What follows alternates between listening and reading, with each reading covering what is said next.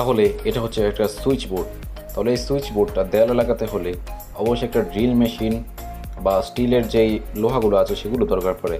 কিন্তু আমি একটি ভিডিওতে একটা ট্রিক্স দেখিয়েছি যেটা শুধু সুপার গ্লো দিয়ে এভাবে দেয়ালে সুইচ বোর্ড লাগানো যায় আর সেটা খুব শক্তভাবে আটকে থাকে।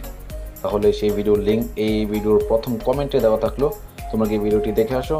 আর হ্যাঁ অবশ্যই চ্যানেলটা সাবস্ক্রাইব করে আসবে।